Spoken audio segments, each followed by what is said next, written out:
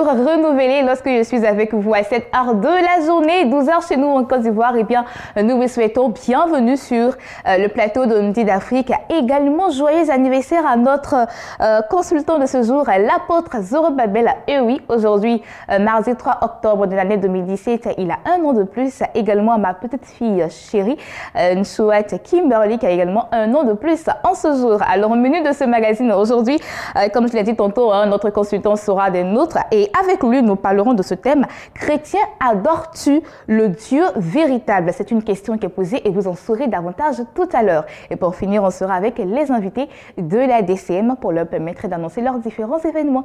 A tout de suite après ce clip.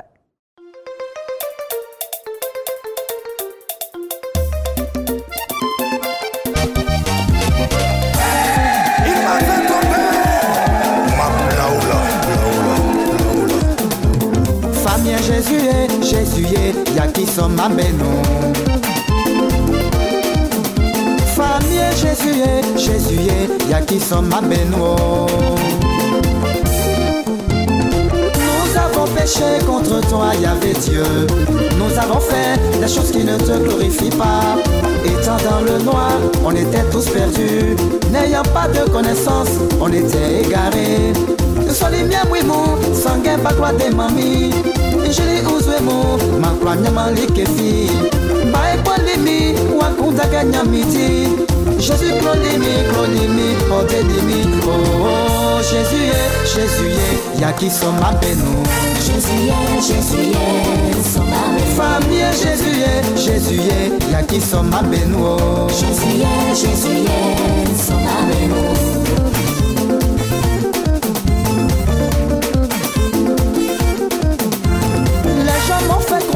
fait croire aux fétiches En me disant qu'ils sont véritables.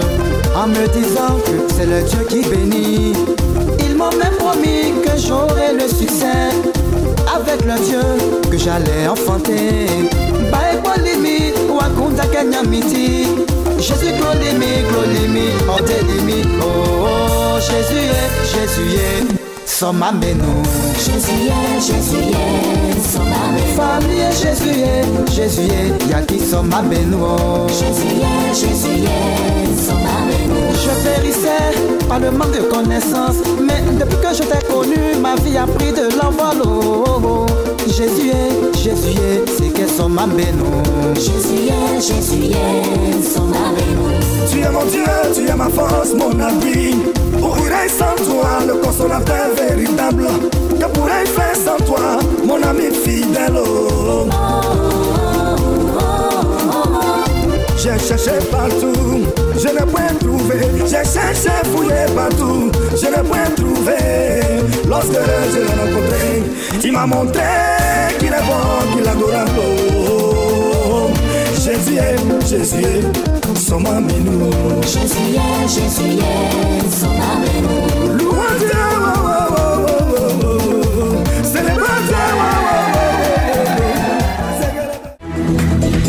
Et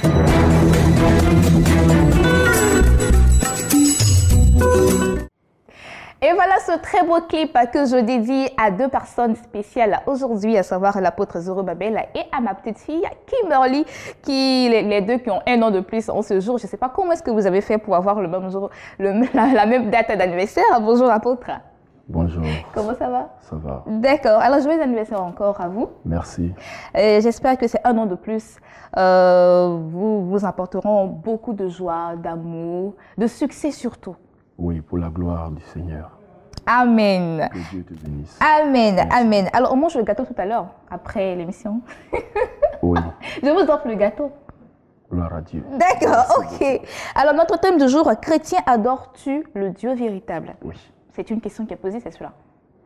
Effectivement, pour ceux qui nous suivent depuis un certain temps, vous allez constater que c'est la suite de ce que eh, nous sommes en train de voir depuis quelque temps. Voilà. On D'accord. se voit en quinzaine. Hmm. Voilà, c'est la suite. D'accord. Donc, chrétien, adores-tu le Dieu véritable? C'est- un thème euh, dont, dont on a commencé à développer depuis la semaine dernière, hein. Euh, la semaine passée, je dirais. Voilà, Et aujourd'hui, parlé de l'adoration, D'accord. pour ne pas confondre l'adoration avec la louange, Mhm. les actions de grâce et autres.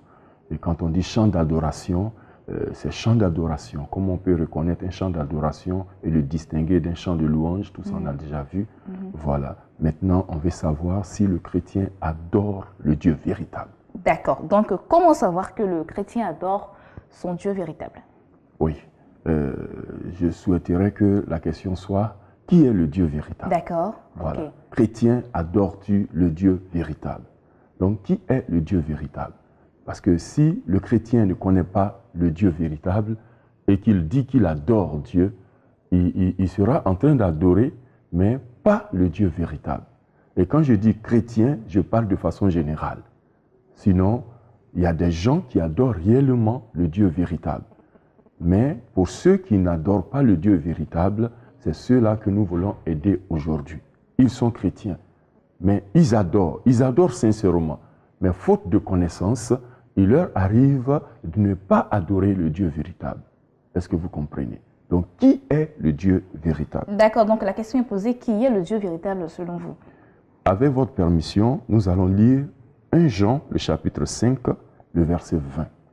Voilà, pour mieux comprendre, on va prendre le texte original grec pour mieux comprendre. Il est dit Oidamen de hoti ovios tu teu eki. Nous savons que le Fils de Dieu est venu. Kai de doken hemin dia noian. Et il nous a donné l'intelligence.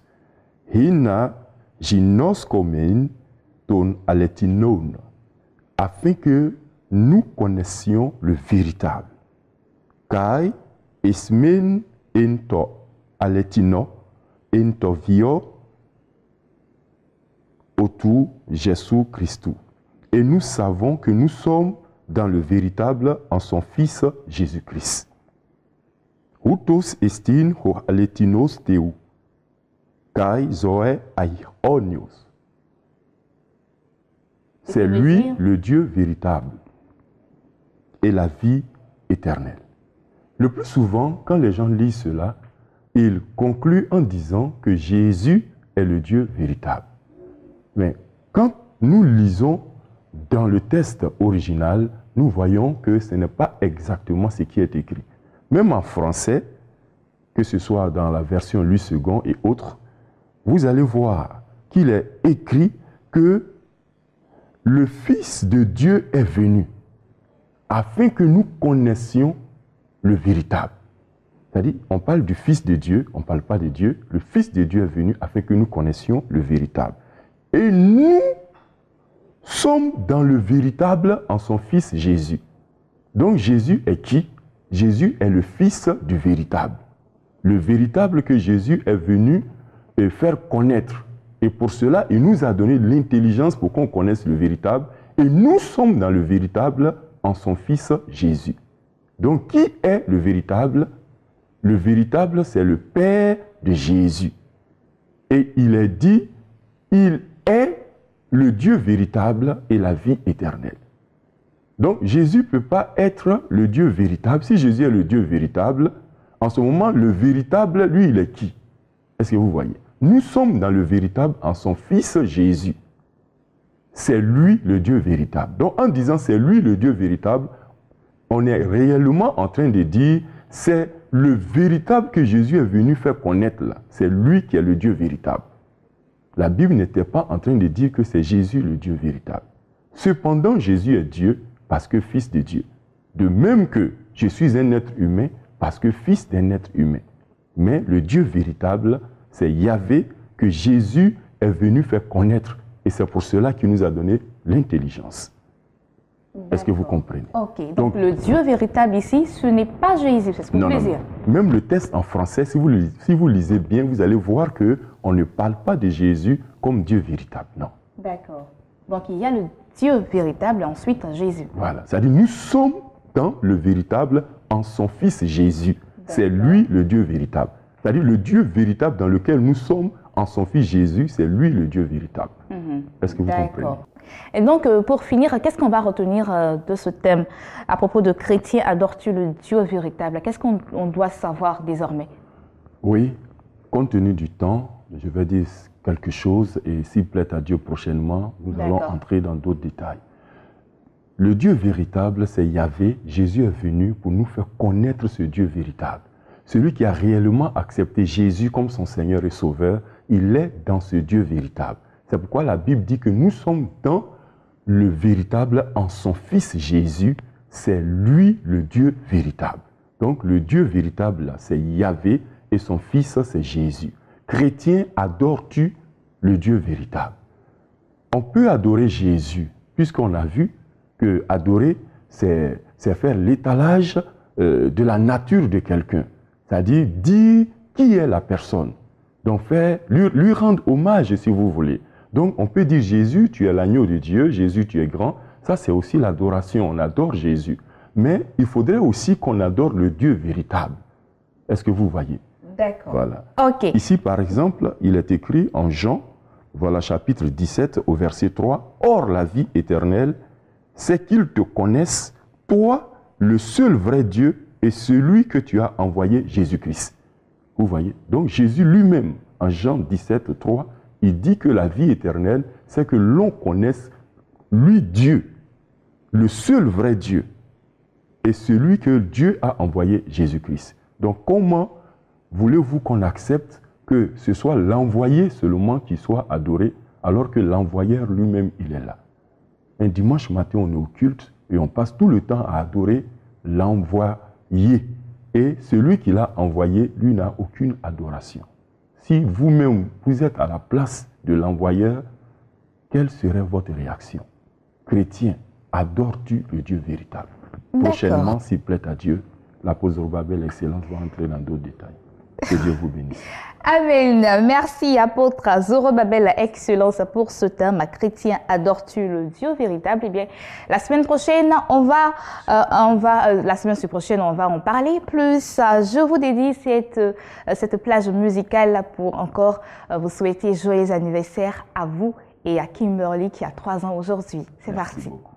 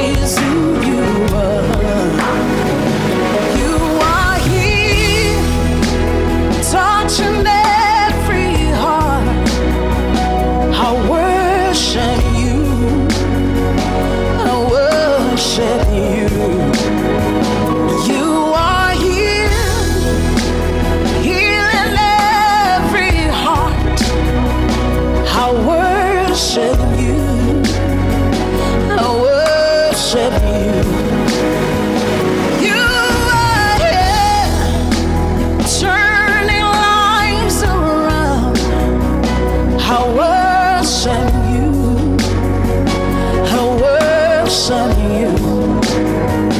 You are here, mending every heart.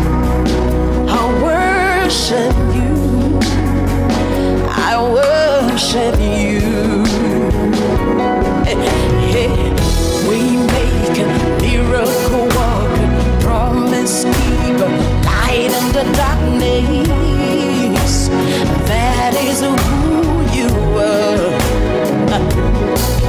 Yeah, Waymaker, miracle worker, promise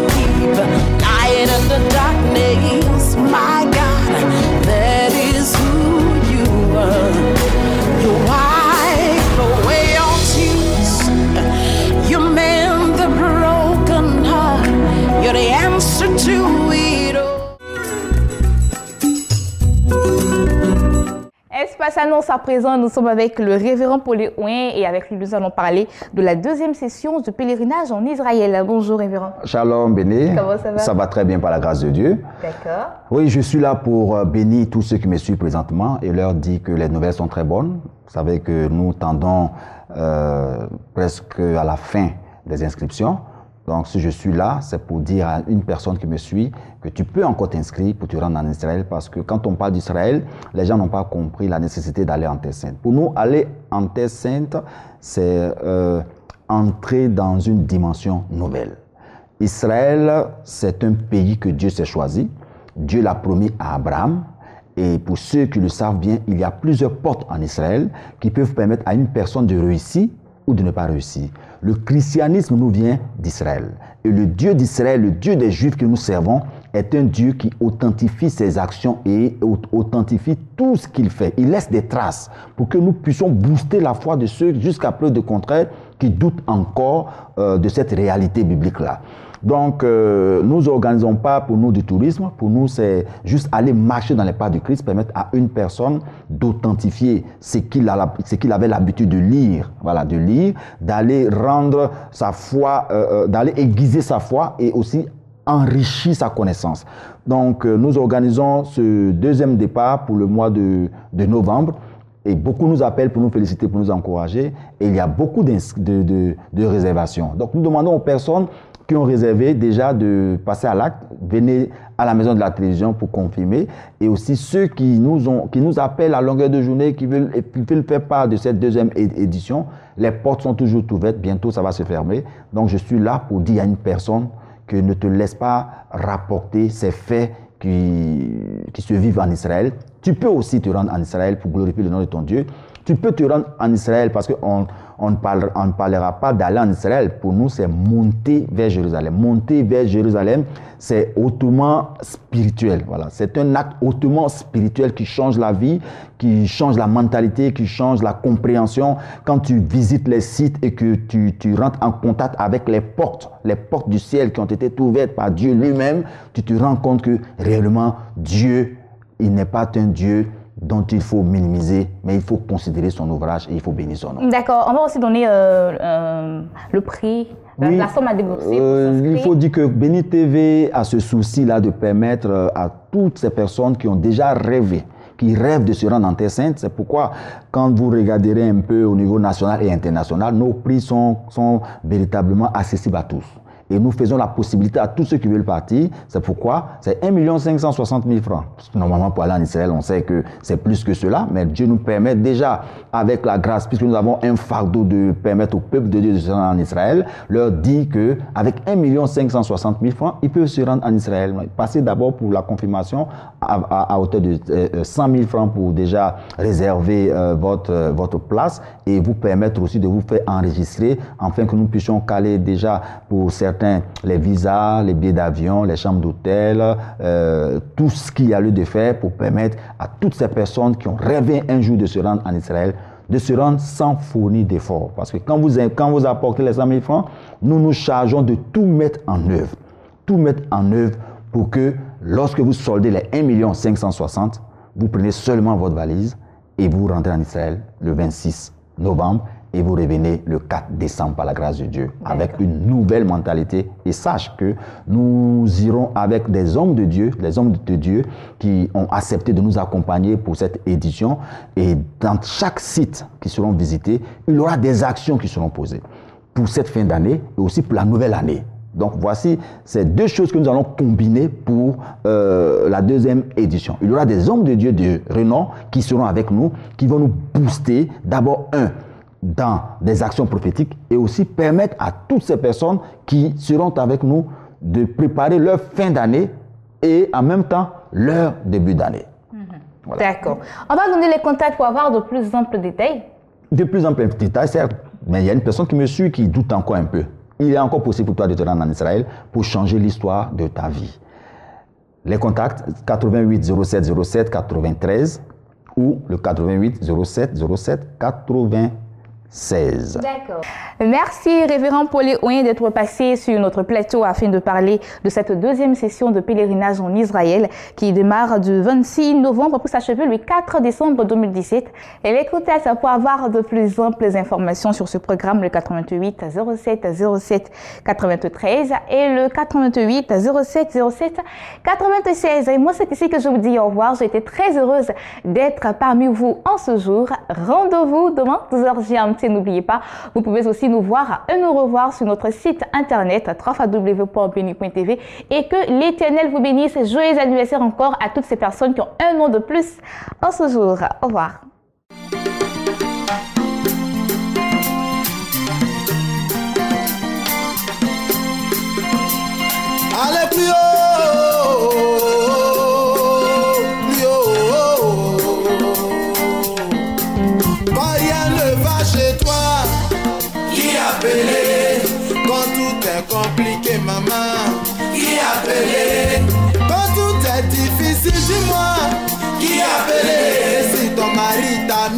Mis dehors, qui appeler Voilà, ton travail est gâté, qui appeler Tu n'arrives plus à manger chez toi, qui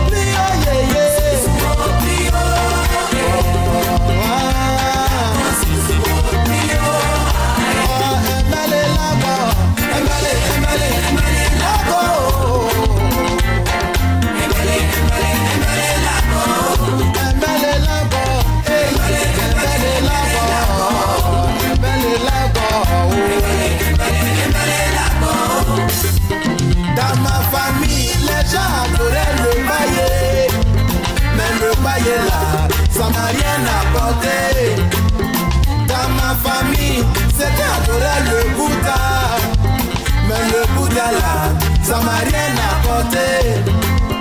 Dans ma famille, d'autres adoraient le combien? Mais le combien là, ça m'a rien apporté. C'est l'Esprit de Dieu qui me fait du bien, oh oui. C'est l'Esprit de Dieu qui me fait du bien, oh oui. C'est l'Esprit de Dieu qui me fait du bien, oh oui. C'est l'Esprit de Dieu qui me fait du bien,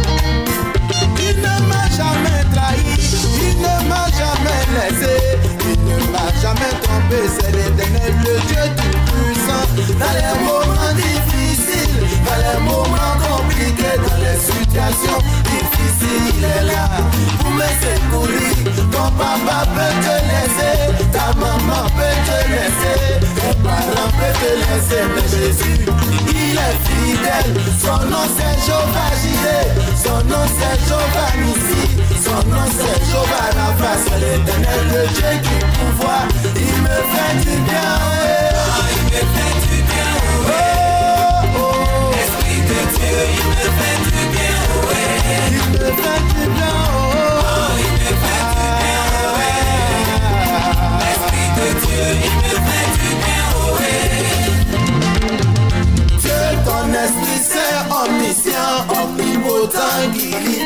me fait du bien, oh ouais. Dieu, ton esprit